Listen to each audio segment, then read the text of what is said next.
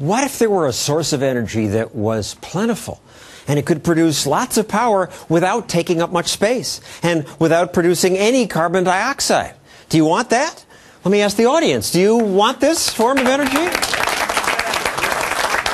Okay. But I'm talking about nuclear power. Nuclear is the only carbon free source of energy that could come close to replacing the energy produced by coal, oil, and gas. But it's nuclear. Nuclear is scary, as the Japan earthquake reminds us.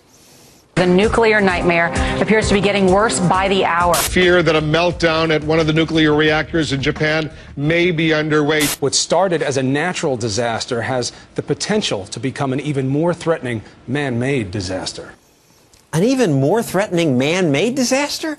What's he talking about? I mean, he's a friend of mine from ABC. We actually are partners in a restaurant together, but he's just wrong about this. In Japan, 18,000 people died in the natural disaster.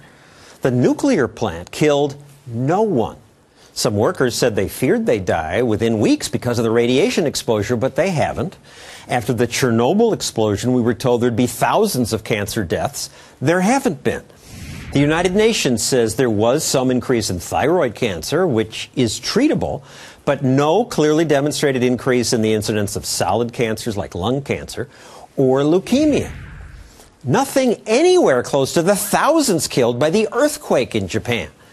But our foolish media quickly switched its focus from the natural disaster that killed 18,000 people to threats from the nuclear plant.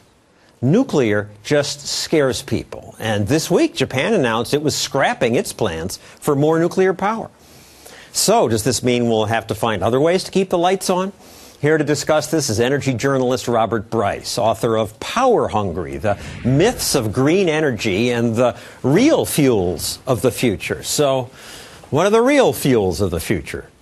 Well, John, I think clearly nuclear has to be part of the answer. Um, it, I'm, I'm, adamantly pro-nuclear, even in spite of what happened at Fukushima. It was a serious accident. But as you point out, you have 18,000 people dead, they believe, maybe more, 10,000 missing, $300 billion potentially in damages. And yet we hear very little, in my view, from the media about the extent of that disaster. Instead, we have had this incredible focus on the nuclear accident, which is serious. And we, but the reality is we have to get good at nuclear. This assumption is that, well, we, you know, we won't always be good at nuclear and a worse accident, the meltdown, the China syndrome, the mass disaster will happen. Sure. And, and we've heard this for decades. But in my view, John, if you are anti carbon dioxide and anti nuclear, you are pro blackout. You just love darkness. Uh, it, it, in the, real, the reality is today, uh, the world needs electricity, and it needs a lot of it. We have uh, over a billion and a half people living without electricity globally, and, and electricity growth is, is growing dramatically worldwide, eight, by 80 percent over the next 20 years, by, according to the IEA. All right. Well, we got coal, oil, natural sure. gas. You could do it that way. Well, eh, perhaps, but I don't think we have enough of those resources. And even if we did, we still have to deal with the other externalities of those of those sources. The the, the thing that makes if nuclear, global warming is a problem, if if global warming is a problem, but still with coal, you have air pollution issues. You have the coal ash disposal problem. You have mining deaths from coal mining.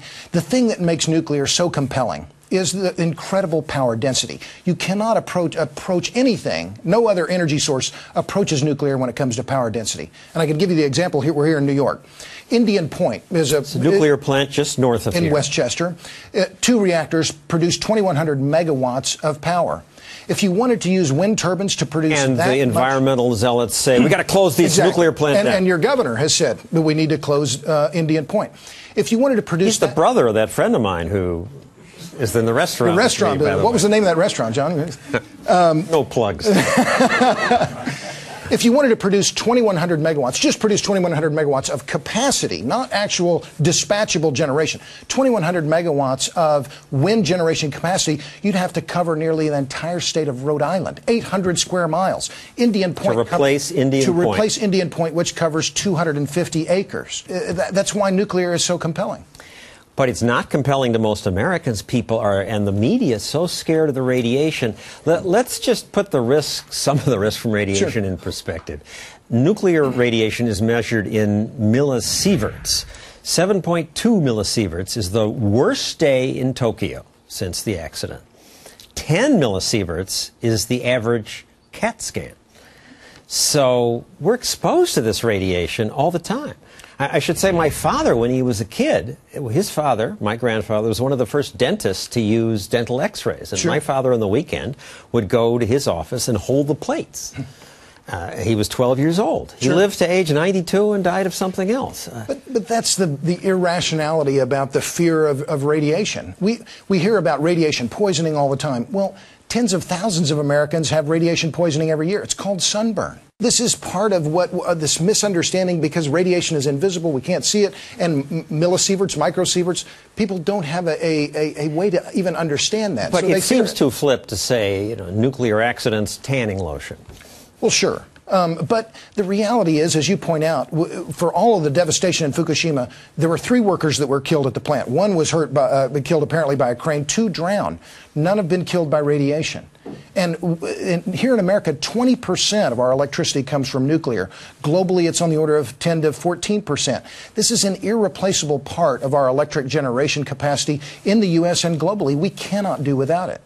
So, why doesn't the free market just make it happen? This is what bugs me about Sure. nuclear. It gets subsidies too. And the companies say, we're not going to build them unless government, President Obama, you guarantee us a loan. Sure. And government shouldn't be guaranteeing private businesses stuff. Well, and, and that's a fair point. But in this, in this, in, on this issue, I believe that the value of electricity to society is so great, and the value of cheap, abundant, reliable electricity is so great that you have to have governmental involvement. Further, you have to have governmental involvement.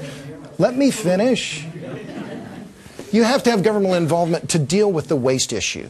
You can't say, here, BP, for instance, or Halliburton, we trust you.